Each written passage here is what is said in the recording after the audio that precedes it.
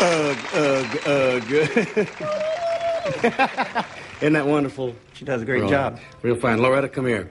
Loretta, when she first moved to Nashville, told Teddy and I how when she was a little girl, she used to get up in front of the radio when the Grand Ole Opry would come on and and and dance.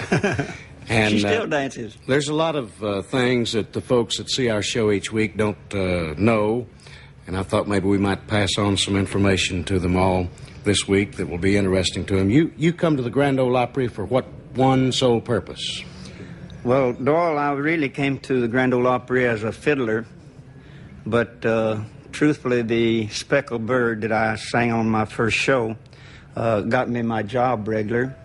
I did an awful poor job of fiddling. I was scared to death, and I played back of the bridge about as much as I played in front of it. I'm pretty sure that Buddy Spicher could tell you they don't sound too good back of the bridge. Well, we've always had the square dancers on the Grand Ole Opry, and those of you that have visited our Grand Ole Opry here in Nashville realize that we have square dances every Saturday night. Oh, we have a yes. square dance team there, and primarily that's what Roy was hired for.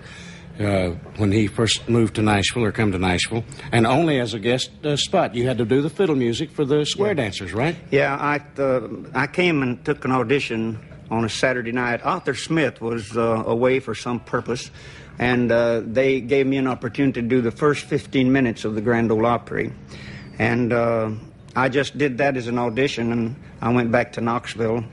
And uh, they sent me a mail to me, and it came in bushel baskets full. And in about two weeks, David Stone called me and uh, sent me a telegram and uh, asked me if I would come back and take a regular job. That I had drawed so much mail that they felt that uh, I could make it good on the Opry, and I was the only one, the first one that ever drew any mail from the wonderful. Opry. Great. That's wonderful. And uh, it, the mail kept coming, it just barrels of it, but it was for the song "The Great Speckled Bird," not for Turkey Buzzard. Loretta, Loretta, do you realize that you might have been doing your little Kentucky dance uh, by the music of Roy Acuff? Did That's you right. realize that back then? Sure. Uh, the song that I really that I started remembering mostly was the the Precious Jewel. That's Precious the one Jewel. I think it was one of the greatest.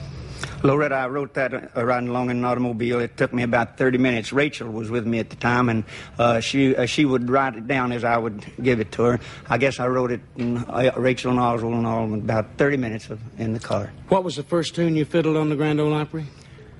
Well, I can't tell you exactly, but I, I, it was either Turkey Buzzard or Cackling Hen or some of that type of numbers. Well, I want. Where's your fiddle? I let me yo-yo, doll. I, No, I want you to. Let him Please, know. I want I, you. I'm, I'm more used to, to yo-yoing. Yeah, I want I you. don't, yeah, that's not. I, I am- want you to play the fiddle for all the Roy Acuff fans that, that don't get to see you every Saturday night on the Grand Ole Opry. Now, and I, I him want you to play. I, I want you to play. Well, he'll hold first my yo-yo. Let me I get my got- fiddle. I'll hold your yo-yo, and I want you to play. I, uh, I, I must tell this story now, Doyle, uh, right. because uh, I want the folks to know that I cannot fiddle anymore. Um, I, well, say I, after I'd been on the network show for seven years, I had to hire fiddlers, and I'd done everything. I couldn't fiddle and read continuity and, and sing songs, and my voice, my money was in my voice, and uh, I uh, I just forgot to fiddle, and I forgot it for 25 years. That's right. So about two years ago, I told my boys, I said, I'm awful lonesome at night. I see television, but not all of it is interesting to me. So I told the boys, I said, I've got to learn my fiddle again. I've lost something in my life. And I went to work, back to work to learn the fiddle. And I have learned a little bit, and at home at night, I, I'll fiddle uh, 30 minutes or an hour each night, and then uh, I go down and fiddle with the boys down in the dressing room. But I, two year ago, or about two year ago when I first started, I decided I'd play one on the Opry. And I hit a few notes on the Opry, and the crowd commenced to cheering like that, and scared me nearly to death. I never, I was as nervous. Honestly, I was as nervous as I was the first time that I tried to fiddle.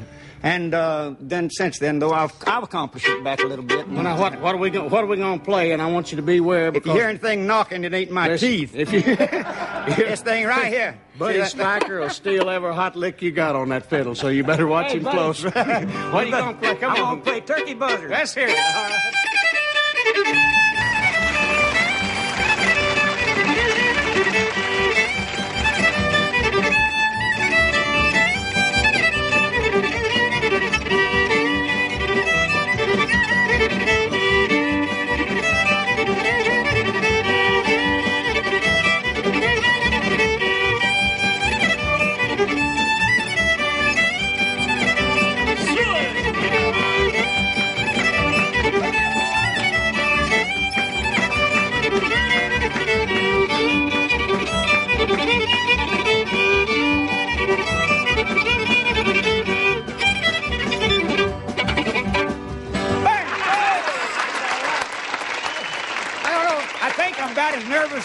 First.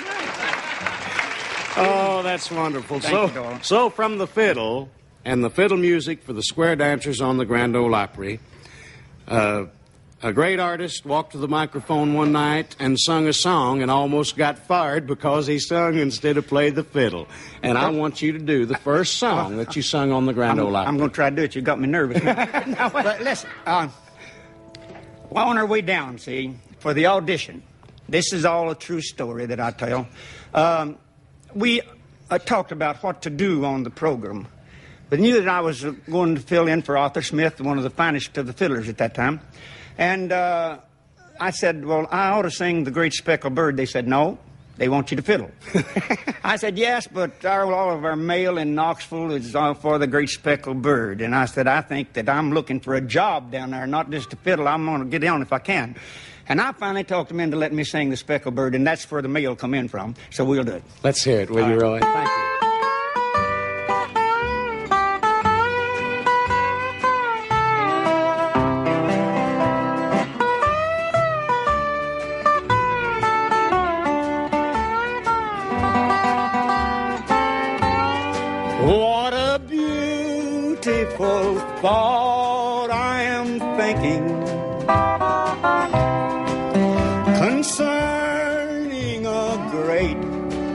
Speckled bird. Remember her name is recorded on the pages of God's holy word desiring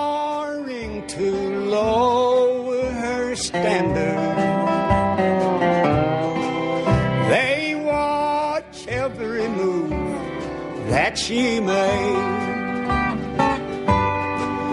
They long to find fault with her teaching. But really they find no mistake.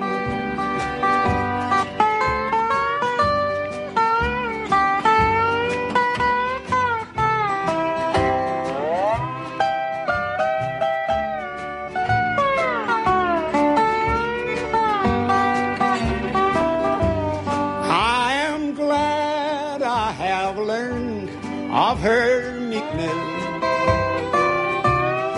I am proud that my name is on her book.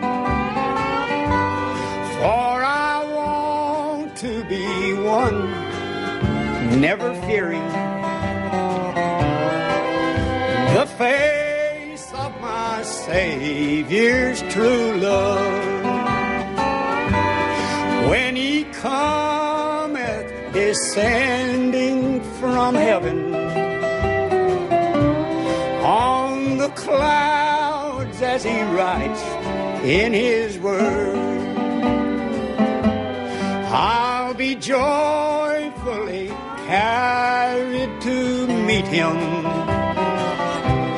on the wings of that great speckled bird.